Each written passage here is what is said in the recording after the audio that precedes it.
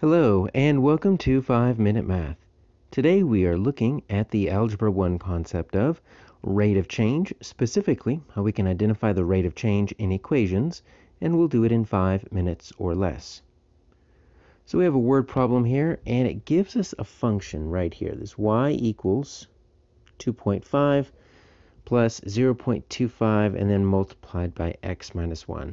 So that is used to determine the cost in dollars of unlocking and riding an electric scooter. All right, so it looks like there's a an unlock fee, and then you're going to pay something like uh, 25 cents a mile, X miles, except uh, you don't have to pay for that very first mile. It looks like that first mile, that minus one means that first mile is included in that $2.50 unlock fee. So we're looking for the rate of change.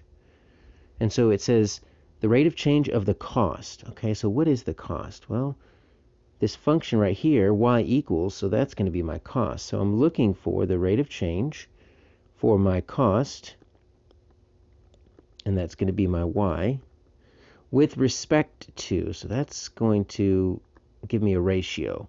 The cost per number of miles.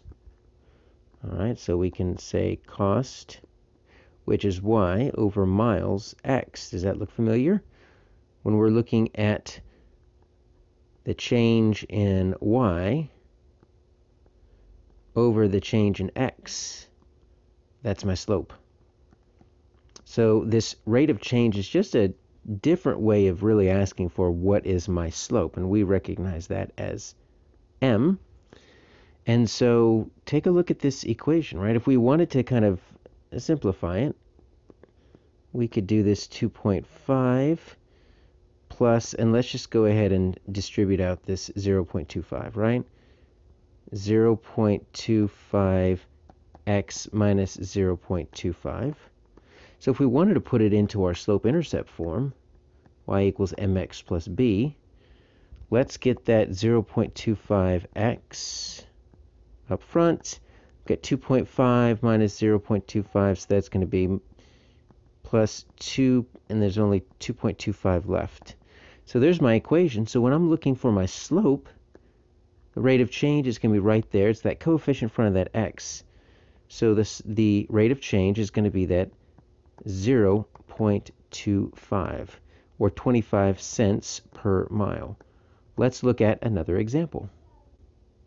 So here we just have an equation. We don't even have a word problem. We're looking for the rate of change of y with respect to x. So right, that's going to be my slope again. But take a look at this form. This 4 fifths x minus 2 thirds y equals 8 thirds. All right, that's not given to me in slope-intercept form. This is actually given to me in standard form. This ax plus by equals c. There's no slope inherent in that form what I need to do is I need to go ahead and change that into my slope intercept form. Because if I can get it to look like this, well then I could find that coefficient in front of that x. So let's do that. Let's solve for y. Because when we solve for y, we will find our slope. So let's uh, subtract uh, 4 fifths x from both sides. Right, that's going to get me my that's going to get rid of that. That's going to get me, and I'll write it right over here, minus 2 thirds y equals minus 4 fifths x, and then I've got my y-intercept of 8 thirds. Now, when I want to solve for that y, right, I, what I need to do is I need to multiply by uh, the reciprocal. So it's negative 2 thirds, right? So I need to instead multiply by negative 3 halves because then that's going to cancel out and that's just going to leave me with y. But now I've got to multiply the other side by that negative 3 halves. So we can distribute that out. 3 halves negative 4 fifths x plus, and then it's that same thing, 8 thirds negative 3 halves. And really we're not, we don't really worry about that too much. I just need to simplify this, right? So that's going to be Two negatives make a positive. It's going to be 12 tenths x, and we can just kind of simplify that down to 6 fifths x.